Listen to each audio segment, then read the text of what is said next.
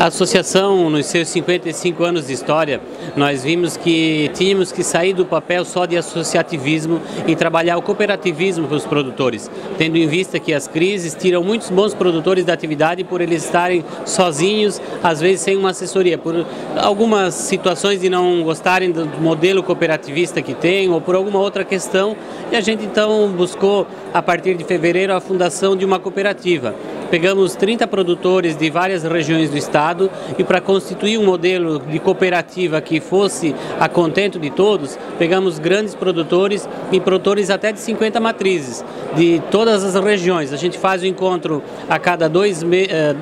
a gente faz o encontro dois meses. Dois, uh, a gente faz encontro em Campos Novos, dois encontros por mês, onde a gente uh, discutiu o regimento interno, o estatuto e as primeiras compras para que houvesse uma confiança entre esses produtores. E já se viu um grande resultado em cima disso. Então, todo produtor, para ser cooperado, ele tem que ter a base a suinocultura, mas a gente compra todos os insumos para lavoura, ração para peixe também. Então, a cooperativa ela vai trabalhar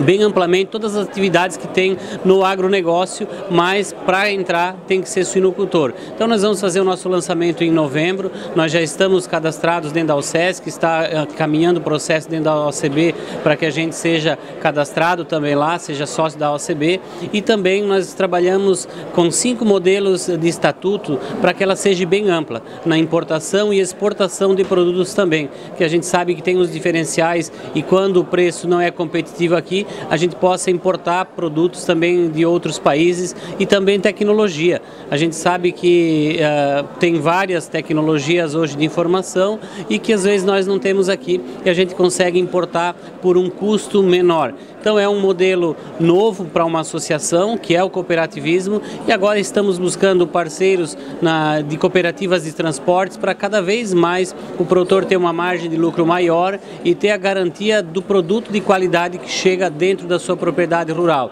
Então para nós é uma satisfação, um motivo de orgulho ter conseguido isso e com certeza ela vai ser uma grande cooperativa. É a Cooperativa Agroindustrial dos Suinocultores Catarinenses, a COASC. Então o pessoal já vai ver essa sigla, já vai ouvir esse nome